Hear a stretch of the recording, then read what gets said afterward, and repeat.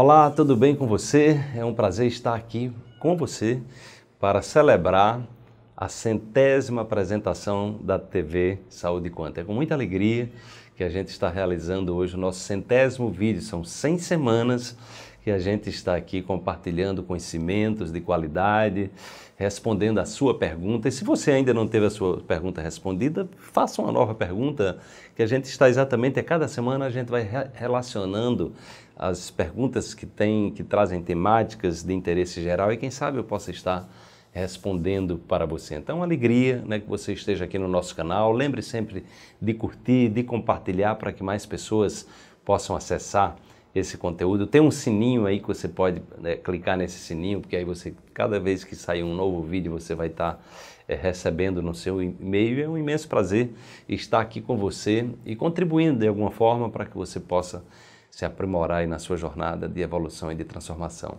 Vamos então para a pergunta de hoje, nessa data comemorativa, que é a pergunta da Elizabeth Santana. Né? É, ela perguntou o seguinte: Wallace, seus vídeos são um tesouro para mim. Estou degustando um a um. Te peço uma orientação, por favor. Como devo proceder para curar uma dor de cabeça, dependência química de 7 anos? Diariamente, já por 7 anos, eu tomo um comprimido forte de enxaqueca. Acredito que já é dependência química do medicamento. Responda-me. Uma simples linha e já vai ter grande valia para mim. Então, Elizabeth, esse, isso que você está é, se referindo à enxaqueca, né? isso, isso eu, eu, presenciei na minha infância, porque minha mãe tinha enxaqueca crônica, né? E eu presenciava minha mãe, às vezes passava ali um, dois, três dias ali, com mal-estar, com aquela enxaqueca de cama, não é?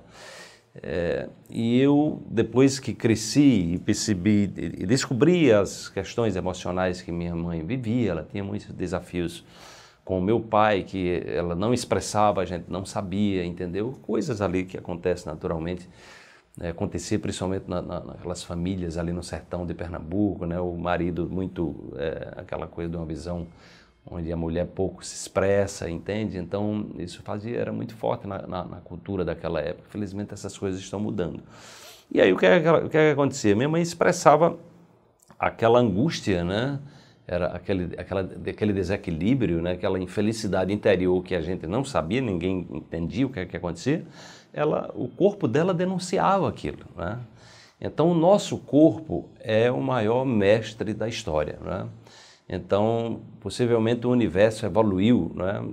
É, com um propósito maior de chegar até o ser humano, não é? porque nós seres humanos nós nos diferenciamos de todos os animais.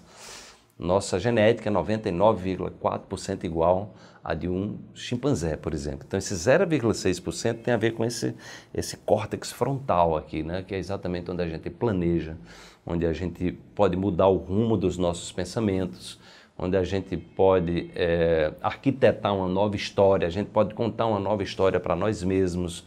Ou seja, nós podemos é, ativar novas possibilidades, nós podemos nos conectar a um mundo de infinitas possibilidades. São 100 bilhões de neurônios que nós temos, cada um deles é, realizando, podendo realizar até 10 mil novas conexões né, neurais. Então imagina as possibilidades, são trilhões de possibilidades que nós temos de criar uma vida nova. Mas o que acontece é que as pessoas muitas vezes elas se adaptam, elas têm um estilo de vida que elas se adaptam. Elas atiram no próprio pé. Não sei bem qual é o seu caso, mas o que eu pediria, a primeira coisa a você é investigue-se. Né? Não é à toa que você está aqui. Então, investigar significa o que é que você come, qual é a sua alimentação, o que é que você bebe, né? você faz atividade física, você toma banho de sol, você dança, você canta, você sorri, você brinca, né? você, enfim, você faz o que gosta, você está no ambiente de trabalho que você gosta, você tem relações que nutrem, você lê bons livros, você vê bons filmes, ou você é daquelas pessoas que ficam vendo televisão, né? vendo muito programa de negatividade, falam muito sobre essas coisas e estão ali em rodas que as pessoas falam das suas doenças. Suas... Então tem que ver qual é o padrão que você está nutrindo e se tem alguma memória no seu passado também que você não resolveu, alguma dor que você está remoendo aí. É muito comum também o ressentimento, a pessoa ressente, ela está ali ressentindo. Ela, ela, em vez de buscar a solução daquilo, ela se coloca como vítima e fica ali ressentindo aquilo. Toda vez que você ressente, você treina o seu corpo emocionalmente para viver no passado. Né? Então é possível que você esteja, tenha algo nesse sentido. No entanto, como é que se resolve isso? Se resolve buscando as causas. Você está fazendo o quê? Você está maquiando o problema. Toma remédio, alivia a dor, mas o problema está lá. O obstáculo emocional, energético está lá. Então você pode buscar acupuntura, você pode buscar uma homeopatia, você pode buscar, é, por exemplo, fazer um trabalho de constelação familiar para entender o, onde é o seu lugar, na, onde você vive, na sua família, no seu trabalho, ou seja, se você está no seu lugar de honra, se você está em posições invertidas, às vezes as pessoas estão em lugares invertidos, em polaridades invertidas nas relações. Né? Se você está assumindo né, a sua autoridade como ser humano, né?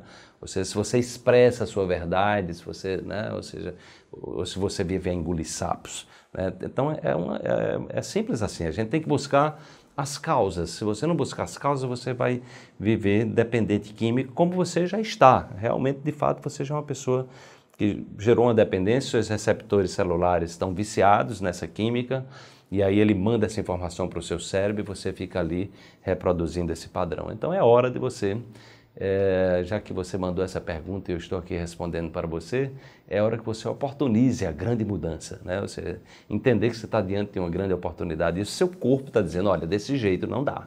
É, ou seja, eu não fui programado para viver assim com toxinas emocionais, toxinas dos alimentos. Veja sua alimentação também, isso é muito importante. As pessoas estão cada dia mais se intoxicando com alimentos industrializados, com muito veneno, com muito agrotóxico, muito, ou seja, e o corpo não é um depósito de toxina. Mais cedo ou mais tarde ele vai reclamar, ele está ele tá se queixando. Tá? Então é hora de você se conectar à, à mensagem que ele está é, oportunizando para você, para que você realmente transforme a sua vida. Então eu vou ficar na torcida, é, nos dê um feedback aí é, sobre o que achou desse vídeo e como isso pode influenciar na sua nova jornada pela existência. Parabéns a todos vocês que estão aqui conosco nesse dia de celebração do centésimo vídeo e na próxima semana estaremos aqui respondendo a mais uma pergunta. Um grande abraço e até a próxima. Você gostou desse vídeo? Então clique no botão curtir aqui embaixo e deixe o seu comentário contando sua experiência e suas impressões. Você também pode deixar uma pergunta, quem sabe eu possa responder a sua pergunta num próximo vídeo.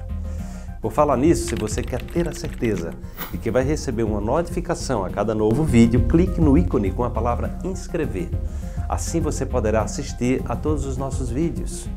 E se você quer saber mais sobre este e outros assuntos e ter a minha ajuda pessoal todos os dias para superar seus desafios, além de dicas de como viver com propósito, saúde e prosperidade, clique no link aqui na descrição no botão que aparece no vídeo e conheça agora o Despertar Quântico.